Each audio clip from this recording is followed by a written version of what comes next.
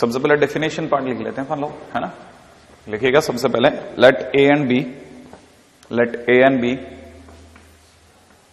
let A and B are two non empty set to non एम्प्टी set. Let a and b are two non-empty sets, then rule r then rule r which associates which associate element of a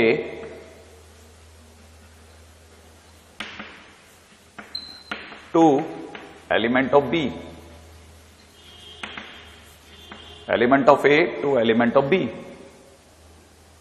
is called relation from A to B is called relation from A to B सबसे पहले लिखने का काम पूरा कर लेते हैं is called relation from A to B अगले पॉइंट में लिखेगा if A belonging to A and B belonging to B if A belonging to A and B belonging to B then it is expressed by then relation is expressed by A related to B A related to B then relation is expressed by A is related to B ठीक है?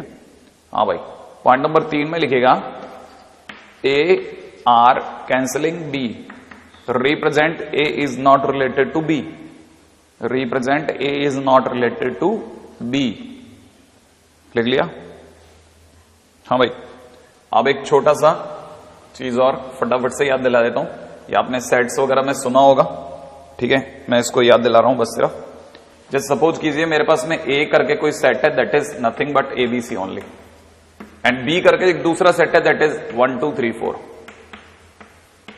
right है तो हम लोग A cross B जिसे हम लोग Cartesian product of two sets कहते हैं, वो एक्चुअल में ए और बी के बीच के रिलेशन को दिखाता है।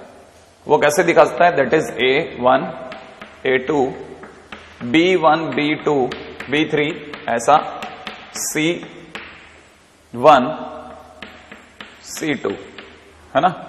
C two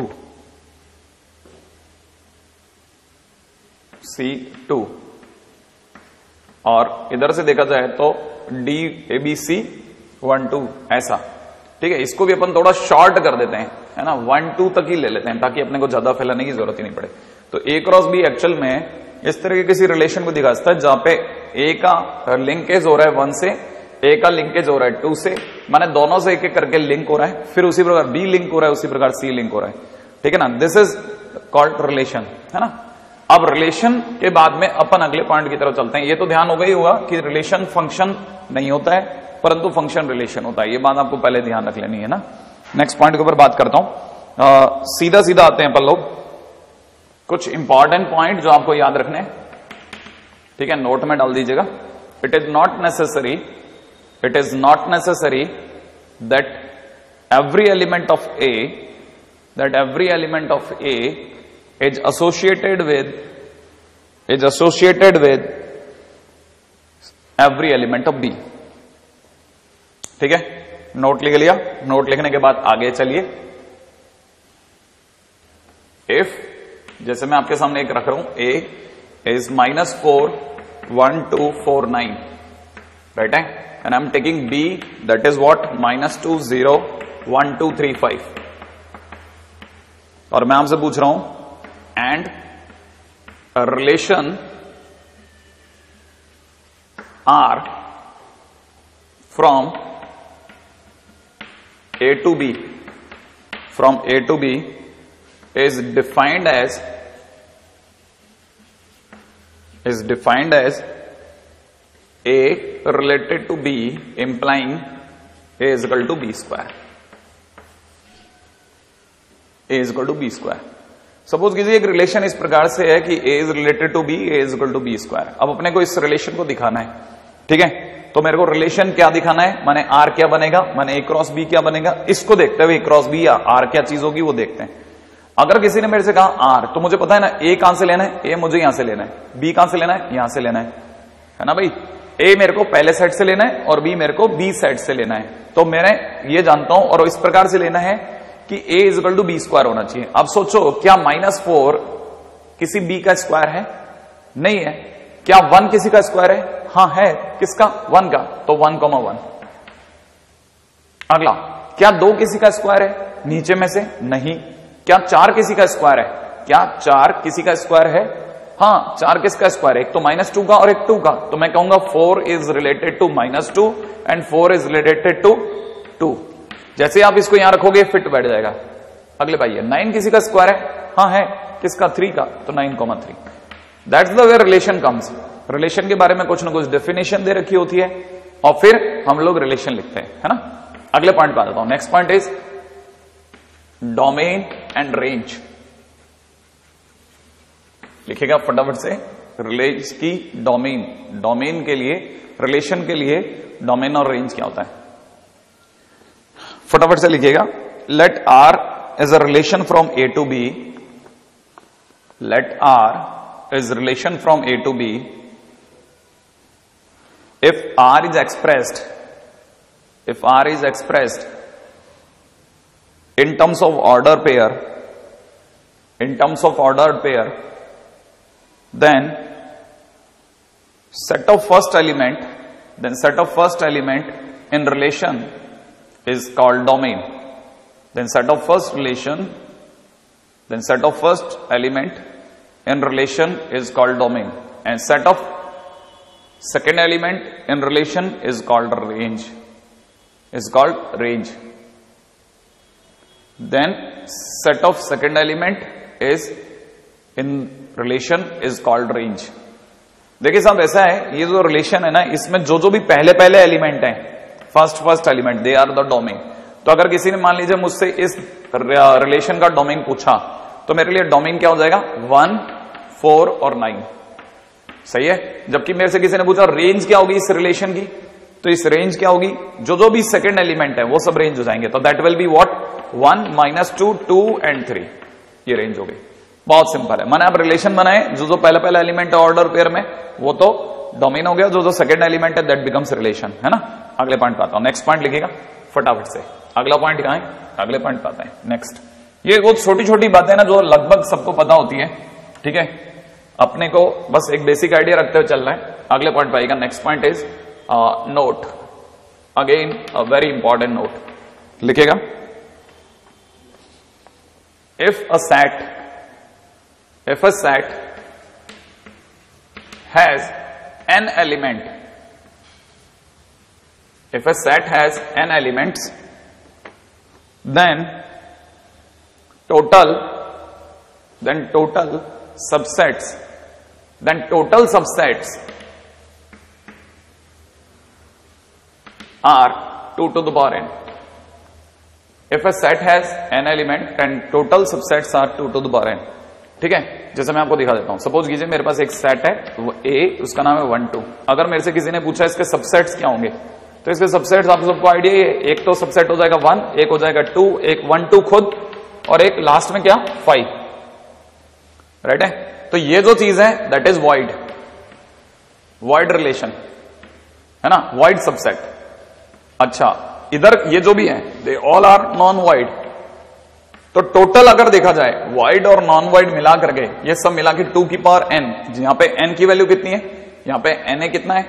N is equal to two है. तो answer is two to the power two बोले तो फोर लेकिन अगर किसी ने पूछा नॉन वाइड सबसेट्स कितने तो याद रखेगा non void subsets non void subsets are two to the power n minus one वो हमेशा two to the power n minus one होते हैं। वन किसका? हटा दिया फाइव का।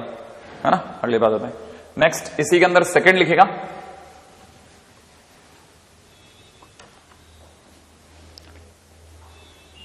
सेकंड लिखेगा। A set has m element and another set has n element. If a set has m element and another set has n elements then number of order pair then number of ordered pair. Total number of ordered pair are 2 are m cross n उनसे कितने order pair बन सकते हैं? M cross N and number of relation number of relation from A to B अगर मैं इसको A और इसको बी कहता हूँ तो number of relation from A to B are two to the M N minus one minus one कौन सा वाला? नॉन वाइड याद आया आपको? तो इट इज़ नॉन वाइड बिल्कुल नॉन वाइड फाइव को हटा करके। तो अगर किसी ने पूछा, कितने रिलेशन बन सकते हैं? तो हम बोलेंगे two to the power M N और कितने ऑर्डर पेयर कितने एलिमेंट्स बन सकते हैं ओवरऑल तो हम बोलेंगे एम क्रॉस एन टोटल जो भी एलिमेंट्स बन सकते हैं वो। ठीक है? बहुत ही काम का पॉइंट है। नेक्स्ट पॉइंट अगले पॉइंट पाते हैं। है ना? अब दो चार अपन क्वेश्चन वगैरह लगाते हैं छोटे मोटे ताकि अपने को आइडिया हो जाए। पहला है एक्स बिलोंग्स टू आपको दे रखा है। One two three four and Y belongs to आपको दे रखा है। Again one two three four right है? आपको फ़र्स्ट आप ही को बनाना है। X is related to Y such that X is greater than Y इसको आप ऑर्डर पेयर बनाइए इसका। और दूसरे वाला है X is related to Y such that X is equal to sorry Y equal to X plus one do it करें नहीं, मैं आ रहा हूँ। हम्म। हाँ भाई, बना लिया। स्टार्ट करते हैं। आइए। अगर मान लीजिए मुझे इसको पहले वाले को सेट करना है तो पहले वाले का रिलेशन क्या बनेगा? वो आइए। पहले वाले के रिलेशन पे बात कर लेते हैं। हमको एक्स इस तरह से ढूंढना है कि X must be greater than Y one is greater than none of them but two is greater than one तो I can say two comma one another three is greater than one and three is greater than two another four is greater than one four is greater than two four is greater than three हो गया? पहला। ठीक है? तो second पे आ जाते हैं। सेकंड क्या है? सेकंड हमारे को चाहिए रिलेशन किस तरह से कि y अपने आप में x प्लस वन हो, है ना? तो टू अपने आप में वन प्लस वन है। तो टू कोमा वन बैठ सकता है। हाँ y equal to X plus one तो वन कोमा टू बैठेगा। x की वैल्यू वन तो y की वैल्यू टू सही है? अगले नंबर पे आएगा टू कोमा थ्री अगले नंबर पर आएगा थ्री कोमा फोर तो अगर इसकी बात करी जाए तो उसके लिए रिलेशन ये बैठेगा। Next next types of important relations वैसे तो बहुत तरह के रिलेशन होते हैं, लेकिन हम लोग जिन पे बात कर रहे हैं बड़े नटसेल में types of important relations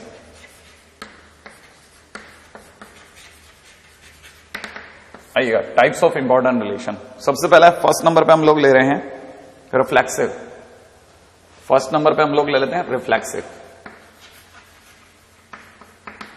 reflexive relation आइए, सबसे पहले reflexive relation first of all हाँ भाई, लिखिएगा डेफिनेशन में लिखिएगा relation R relation R defined on set A relation R defined on set A, relation R defined on set A is said to be reflexive, is said to be reflexive if every element is related to its, its own element. If every element is related to its own element. If every element is related to its own element माने अगर by the way A का A से हो है ना?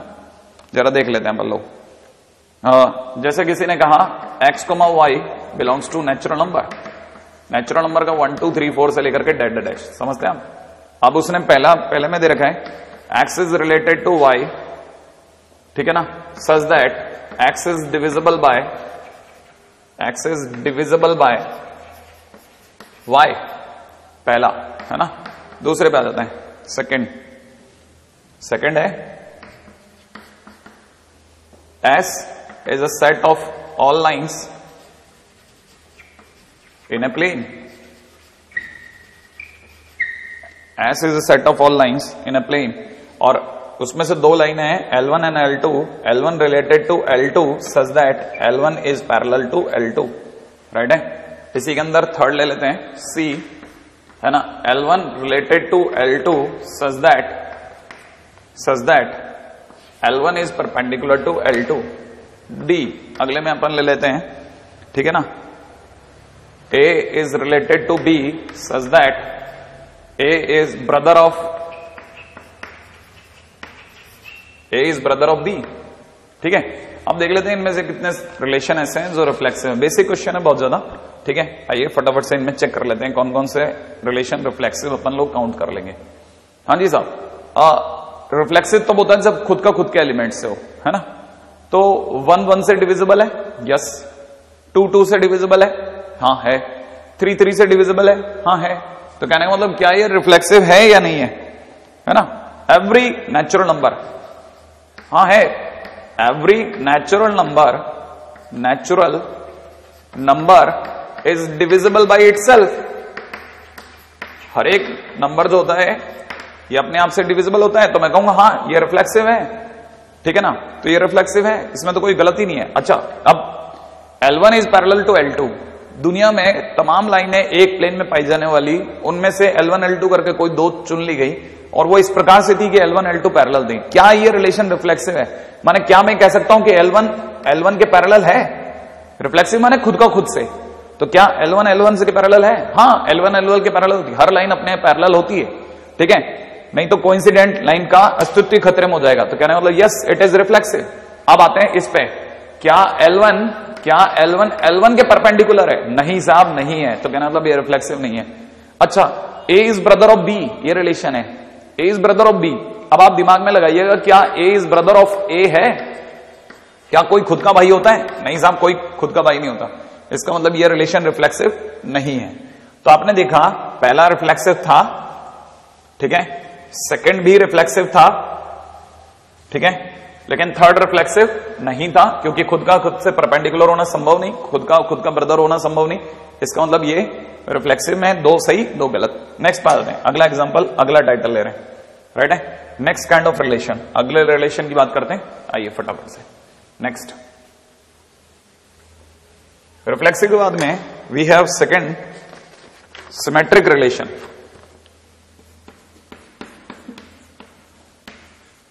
symmetric relation आइए फटाफट से। इस पर भी दिमाग लड़ाते हैं।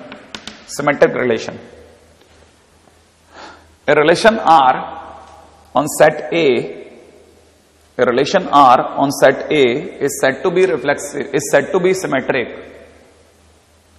A relation R on set A is said to be symmetric if any element A comma B belonging to R belonging to R is such that is such that when A is related to B when A is related to B, then B is equally related to A.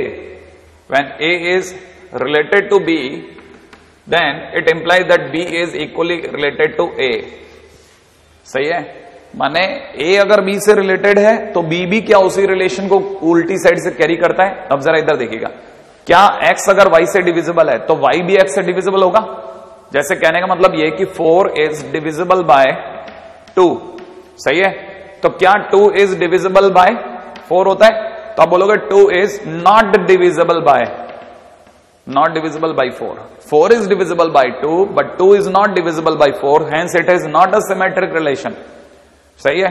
अगले बात आते हैं। All lines in a plane जहाँ पे L1 L2 दोनों parallel है, क्या L1 L2 के पैरेलल होना यह भी बताता है कि L2 भी L1 के पैरेलल है। हाँ बिल्कुल। अब जरा आ जाते हैं इधर।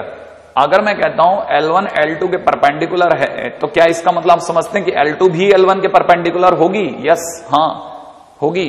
तो कहना है मतलब ये सिमेट्रिक रिलेशन है। क्या ए बी का ब्रदर है तो बी भी A का ब्रदर होगा? इट इज़ नेसेसरी नहीं, वो बहन भी हो सकती है। A is brother of B B बहन हो सकती है। इसका मतलब ज़रूरी नहीं है कि हर बार ये वाले रिलेशन को आप उल्टी साइड से भी देखें।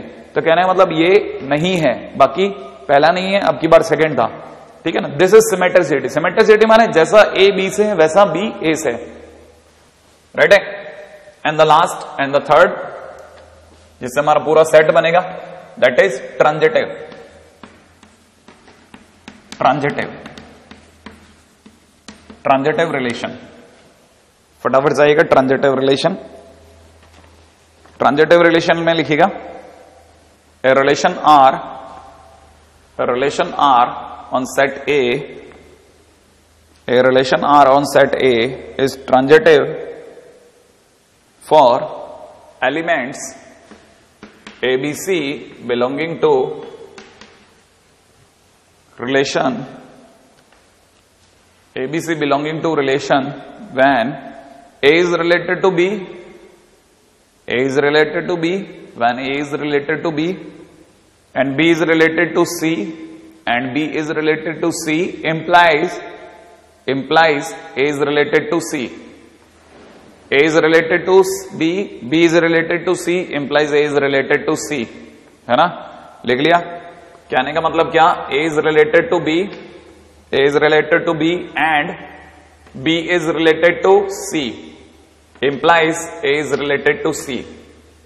अगर ये बात किसी ने कह दी तो हम कह देंगे हाँ ये ट्रांजिटिव है इसका मतलब इसमें तीन एलिमेंट होने चाहिए। हाँ इसमें तीन एलिमेंट होने चाहिए। तो सर, यहाँ तो दो ही है ना, जैसे चार और दो। नहीं, अब की बार जब भी आप सिमेट्रिसिटी चेक कर रहे होते हैं तो आप पहले काम करते हैं कि तीन एलिमेंट दुनिया में लाते हैं।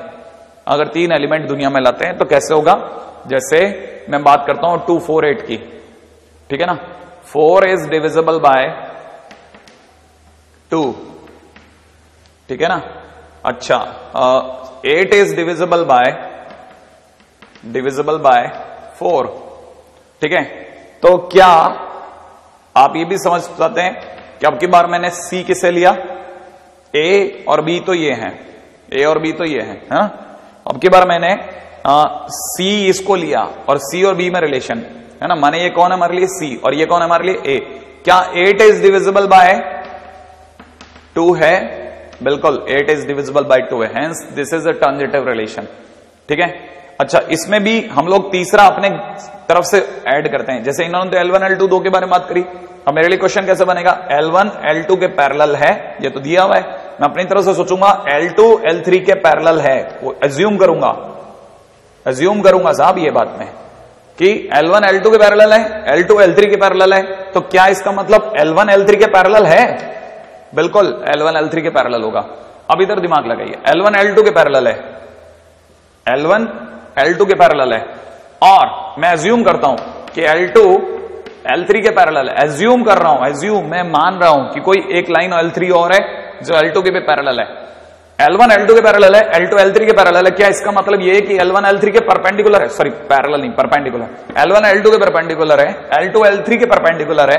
क्या इसका मतलब है कि L1 L3 के परपेंडिकुलर है? नहीं। फिर तो वो पैरेलल नहीं पैरेलल हो जाएँगी। देखिए, ये एक लाइन L1 है ये L2 के परपेंडिकुलर है। L2 L3 के परपेंडिकुलर है। देख रहे हैं आपको? लेकिन L3 और L1 आपस में कैसी हैं? पैरेलल सही है? तो ये रिलेशन ट्रांजिटिव नहीं है। बाकी दो थे।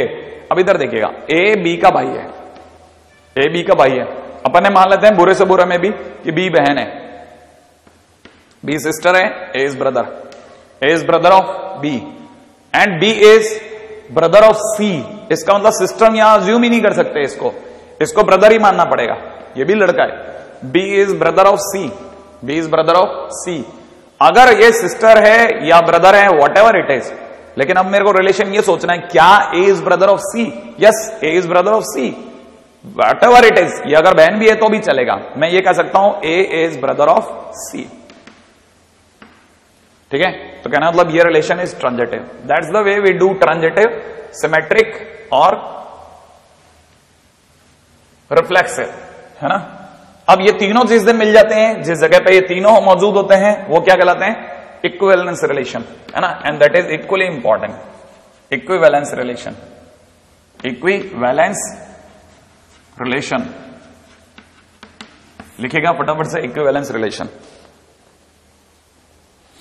A relation R is said to be equivalence, is said to be equivalence when it is reflexive, symmetric and transitive all.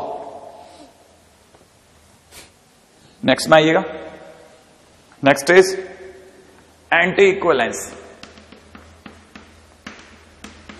anti equivalence anti-equivalence. A relation R is said to be anti-equivalence.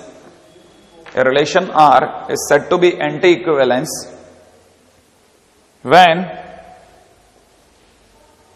A is related to B, when A is related to B and B is equally related to A and B is equally related to A is possible, is possible only when A is equal to B. Is possible only when A is equal to B. ये कैसे हो सकता है? ये क्या चीज़ है? कैसा है? एक एग्ज़ाम्पल दिखाता हूँ। एग्ज़ाम्पल में देखिएगा। ठीक है? जैसे मेरे को किसी ने कहा कि X is greater than equal to Y क्या ये इक्विवेलेंस है? एंटी इक्विवेलेंस चेक करना है, मान लीजिए मुझे। एंटी इक्विवेलेंस चेक करना है।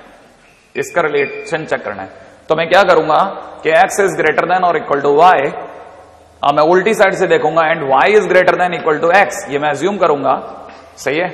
और जैसे मैं सोचूँगा, मुझे पता चल जाएगा कि एक्स वाई से बड़ा या बराबर वाई एक्स से बड़ा या बराबर, तभी संभव है जब एक्स बराबर वाई हो। ये इकलौती ऐसी चीज़ है, जब ये दोनों बराबर होंगे, तभी इसको सेट कर जाएगा, वरना पॉसिबल ही नहीं है। राइट है? ये जैसा फ़र्स्ट एग्जांपल सेकंड में आ जाता हूँ। ठीक है? X is divisible by Y ठीक है? X is divisible by Y जैसे ही मेरे को कोई पूछेगा कि एंटी इक्वलेंस है, मैं हाथों सोचूँगा, क्या Y is divisible by X क्या Y is divisible by X ऐसा अज्यूम करूँगा कि x is divisible by y and y is divisible by x. It is possible both the cases are possible only when X is to y. सही है? कोई भी दो number आपस में तभी डिविजिबल हो सकते हैं जब वो दोनों बराबर हो। उल्टी साइड से भी, है ना? दिस इज़ एंटी इक्वलेंस अब आ जाते हैं इसके थोड़े थियोटिकल क्वेश्चंस पे। आ जाइए, फटाफट से। Next title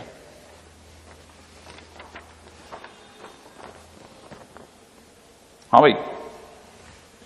A is related to B implies B lives within one kilometer from A. Check equivalence. Equivalence. इसकी इक्विवेलेंस चेक करें आप ठीक है ए और बी दोनों आपस में इस तरह से रिलेटेड हैं कि बी हमेशा ए से एक किलोमीटर के अंदर रहेगा, एक किलोमीटर के दायरे में रहेगा सबसे पहले चेक करते हैं कि क्या ये रिफ्लेक्सिव है रिफ्लेक्सिव का सोचते ही मेरे दिमाग में आएगा ए का ए से। मेरे दिमाग में लाइन चलेगी A lives within one kilometre क्या लिखे होंगे दिमाग में? कि A lives within one kilometre from A क्या ए ए से एक किलोमीटर में? हाँ ए एक से एक किलोमीटर में है।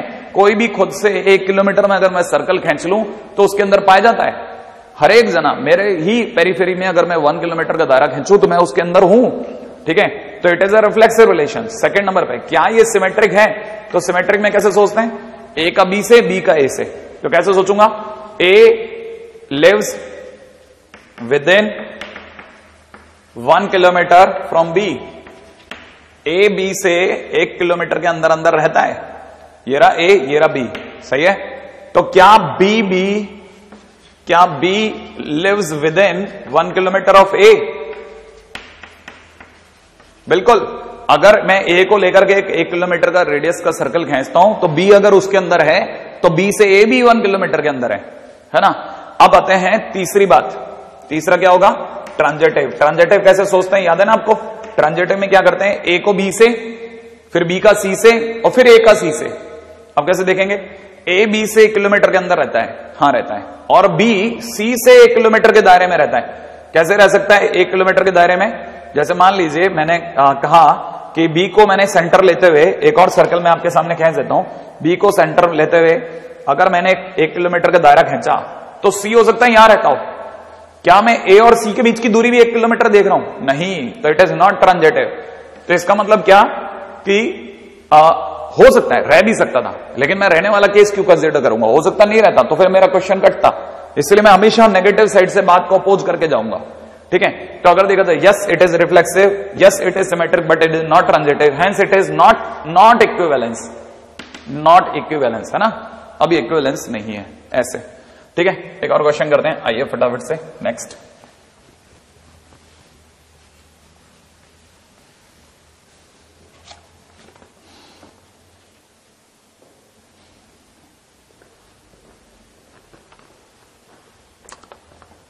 अगला क्वेश्चन है let A and B question में लिखेगा फटाफट से let capital A and capital B contain two elements and four elements two elements and four elements two elements and four elements the number of subsets the number of subsets the number of subsets of A cross B, the number of subsets of A cross B having three or more elements, the number of subsets of A cross B having three or more elements, the number of subsets having three और more elements देखिए साहब ए के पास में कितने element हैं दो B के पास में कितने एलिमेंट हैं number of element in B is four तो आपको मैंने बताया था ना कि ए क्रॉस बी में कितने एलिमेंट होते हैं? क्या करते हैं हम लोग? इनकी मल्टीप्लाई इनकी मल्टीप्लाई करते कितना मिल गया? टू इंटू फोर बोले तो एट एलिमेंट्स है ना? अब हम चाहते हैं ए क्रॉस बी के उन सबसेट्स को देखना जिनमें तीन या तीन से ज़्यादा एलिमेंट हो। वो सबसेट चाहिए ठीक है ना? तो तैयार है हम। हम आठ हमारे पास में एलिमेंट हैं। हम आठ में से तीन कौन कौन से चुन सकते हैं? ठीक है? बहुत सारे चुन सकते हैं। तो कितने चुन सकते हैं? चुनने का तरीका होगा? एट सी थ्री आठ में से तीन एलिमेंट चुनना। एट एलिमेंट मेरे पास पड़े उनमें से कोई भी तीन चुनने के तरीके होंगे, एट सी थ्री। लेकिन तीन या ज़्यादा भी तो हो सकते हैं। हो सकता है मैं चार चुन लू तो चार चुनने का तरीके, एट सी फोर, फाइव चुनने का तरीका, एट सी फाइव। हो सकता है मेरे दिमाग में छह एलिमेंट चुनना हो। हो सकता है सात एलिमेंट चुनने की इच्छा हो सकता है आठ। लेकिन आठ में से आठ से ज़्यादा तो नहीं चुन सकता। तो टोटल नंबर ऑफ़ सबसेट्स जो चुने सकते हैं, तीन, चार या पाँच, या छह, या सात, या आठ, ऐसे सकते हैं ना तो number of subsets will be this this one अब इसको निकालेंगे कैसे? तो मैं आपको याद दिलाता हूँ बाइनेबल थ्योरम में एक बात बताई जाती है कि अगर आप eight C zero plus eight C one plus eight C two plus ये सब जोड़ते हैं तो इट बिकम्स टू टू दार एट ये बाइनेबल थ्योरम का फंडा है तो एक काम करते हैं ना, हम ये जो उधर वाले तीन जो येलो हैं, इनको यहाँ से मिटा के पीछे लिख डालते हैं। तो माइनस में क्या करना है हमें? एट सी ज़ीरो माइनस में एट सी वन माइनस में एट सी टू सही है? सॉल्व कर लीजिएगा। ये शायद टू फिफ्टी सिक्स है। Minus one minus eight minus आठ इंटू साठ डिवाइड बाई दो, अट्ठाईस टू हंड्रेड नाइनटीन सही है अगले क्वेश्चन में आते हैं, आइए। ये तुम कट कर देना भाई, है ना? हम्म अगले क्वेश्चन में आइएगा। अगला क्वेश्चन है।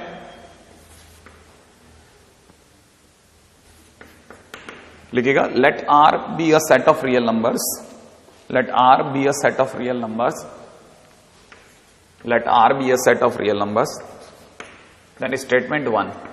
A is such that x comma y belonging to R then x comma y belonging to R cross R colon y minus x is an integer. y minus x is an integer. Right?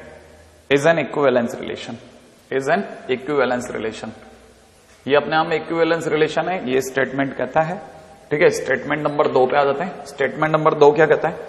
B अपने को दे रखा है इस तरह से कि X comma Y belonging to R cross R such that X is equal to alpha Y for some real number some real number some rational number sorry some rational number is an equivalence relation.